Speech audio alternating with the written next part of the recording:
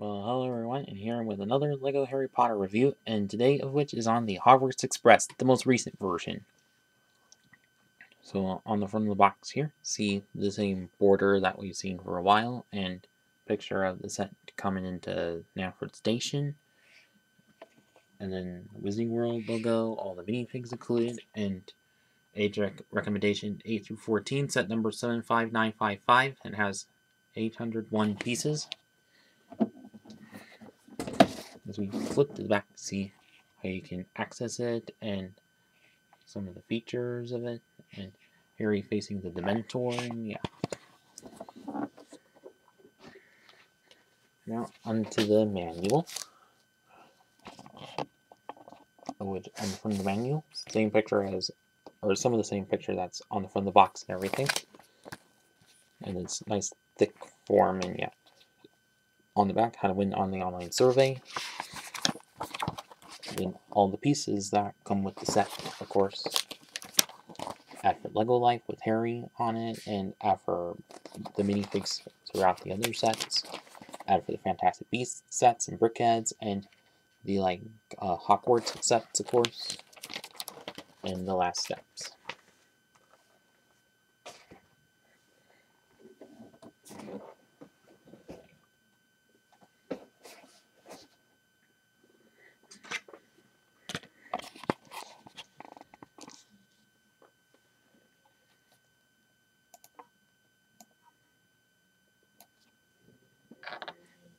First of which is Harry Potter, which same version that's also included in the Aragog's Lair set.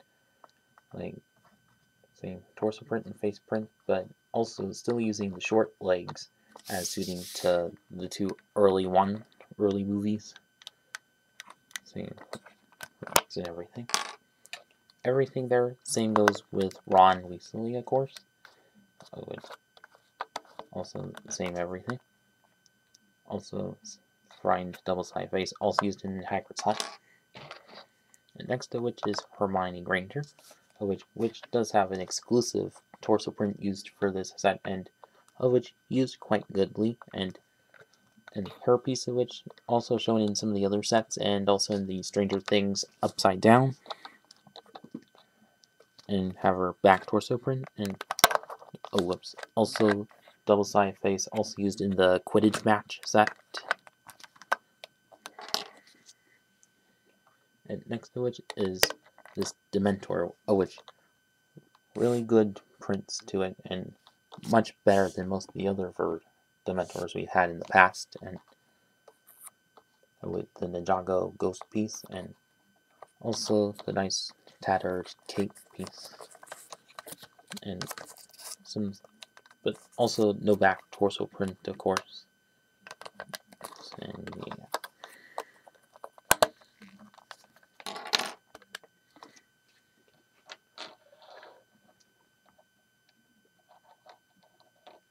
And next to which is the Trolley Witch, with see, with a good use of this hairpiece in gray, and some nice front torso print, of course, and also some more right back torso print, and also a scared double-sided face, of course, of which exclusive.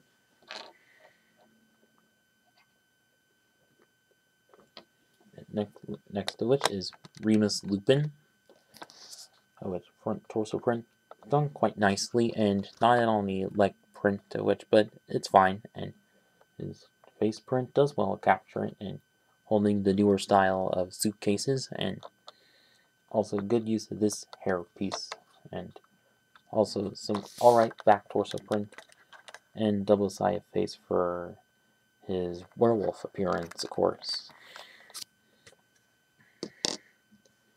So for the main builds of which is that you get these two little trolleys of which or this using those like Technic pin holders used for wheels and has the newer mouse rack piece and also a couple other suitcases.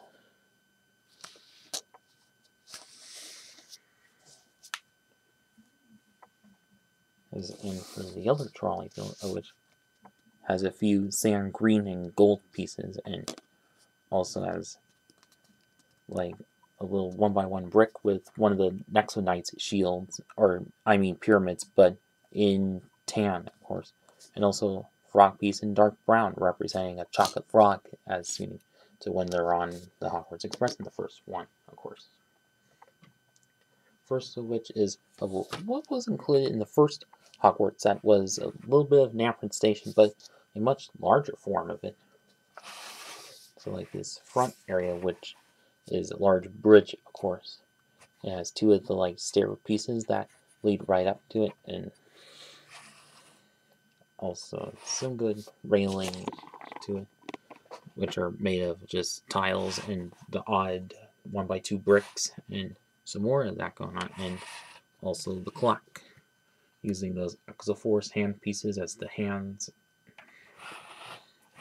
and that's the other part of it which uses which has the King's Cross sign and also a translucent minifig head as a light and also the signs that say uh, station site 9 and 10 also interesting thing is notice how the wall kind of flops a bit? Well there's a reason for that. As if you remember in the movie this scene in the movie where Harry and Ron are, and others are running off too, it, and they can,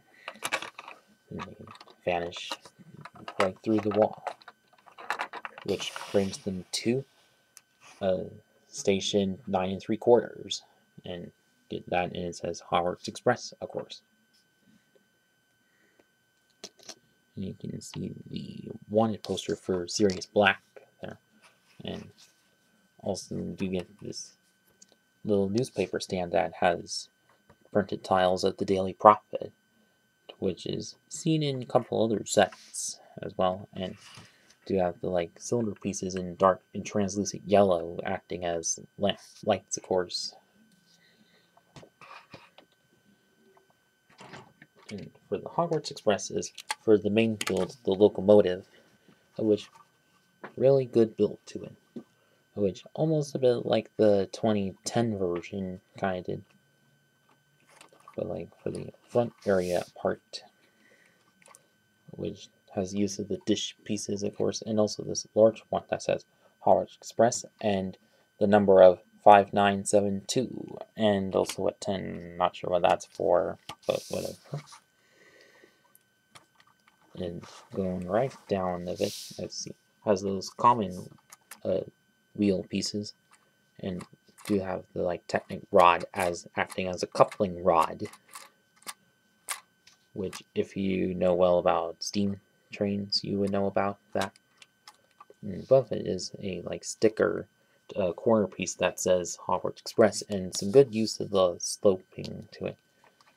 And also good use of the like rodish piece odd rod pieces as uh, safety rods to it and above have some gold dishes, like acting for both the smokestack and bell. And then from the back part of it, good use of the like uh, grill pieces there, and also the, the main cabinet, which has a couple printed pieces used for dials and a couple of flames, for, so the engineer can like throw some coal into it and get it rolling, obviously. As for the back bottom part it, have two pivoting pieces for the like front wheels, of course, so it can take turns on tracks good.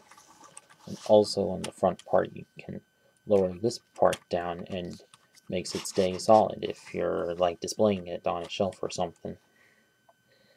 And also got the lights there, of course. Next to which is the coal car, or tender, actually.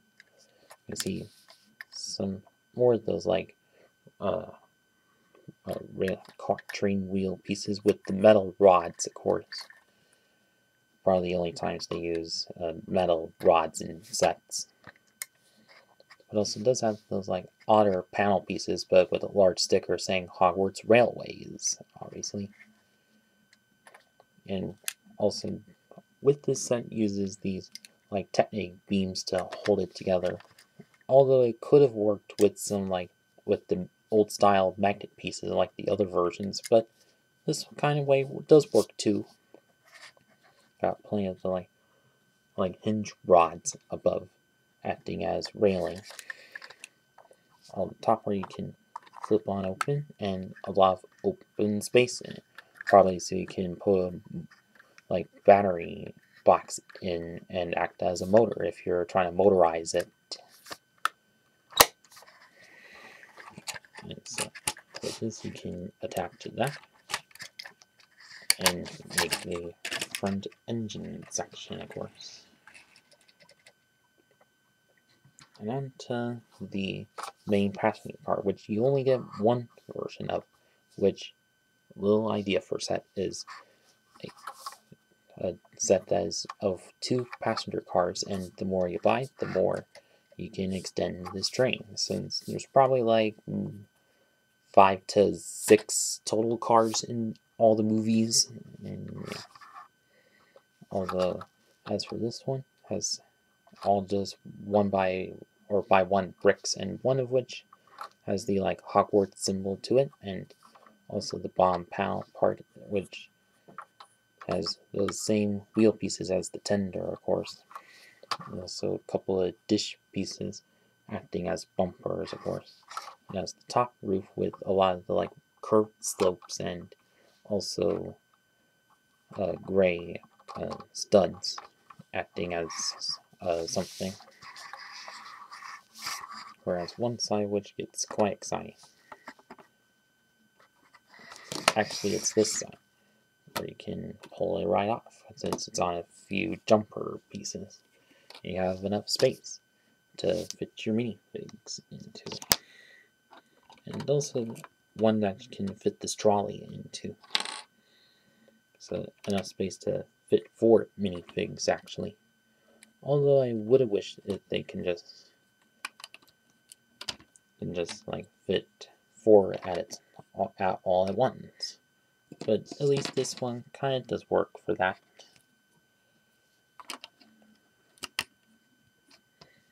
Is let me get all these on.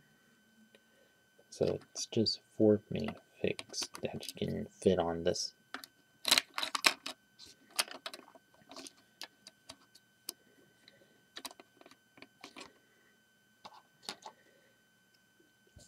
And only can kind of fit uh, the trolley witch onto as well. But also on the windows you can uh, fold up and down. Although in the films they can like go up and down. But this kind of way does work out well too. And I can see a, also a few jumpers on there. You can attach it on as well and this open spot of it where you can uh, peg the other onto and it can roll right up of course.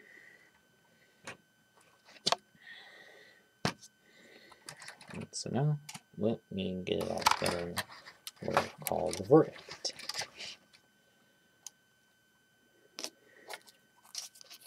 Although not much space, no space to put the Dementor on it. Although you can add it to your Dementor army, of course. So now, on to the verdict is overall, this I think probably one of the, the most bestest version of the Hogwarts Express in a while, since of course it still does include the tender, but also most of Knapford Station, of course, and also with the like flip open wall feature, of course, well suiting to the scenes and yeah. And also do get a few exclusive minifigs, which kind of makes it well worth it and all.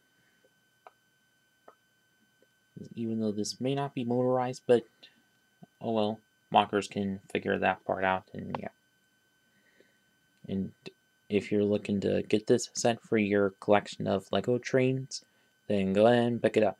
And if you are looking to get this for your Harry Potter collection, then also go ahead and pick it up. And that's about it with this video, and thanks for watching.